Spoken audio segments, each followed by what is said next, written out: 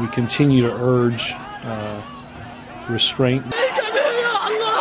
It is imperative uh, that the violence that we're seeing stop.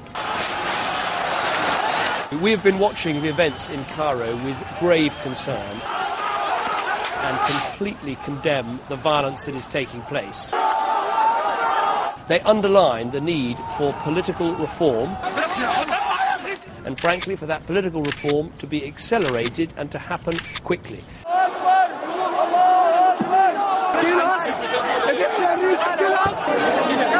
There's many people coming here uh, injured.